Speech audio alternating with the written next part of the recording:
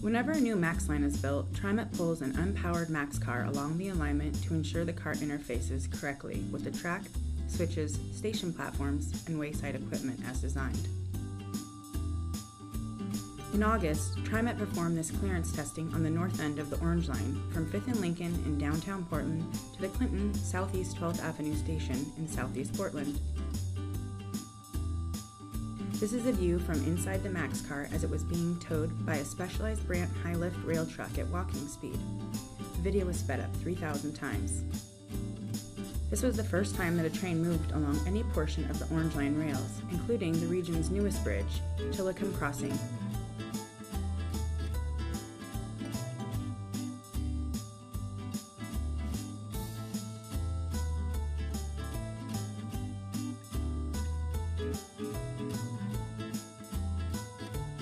Capital Projects engineers and safety employees walked alongside the train, stopping frequently to take measurements.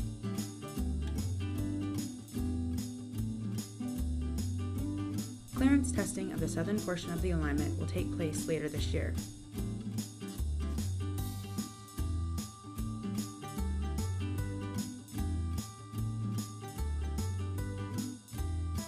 The Portland Milwaukie Light Rail Transit Project will open September 12, 2015.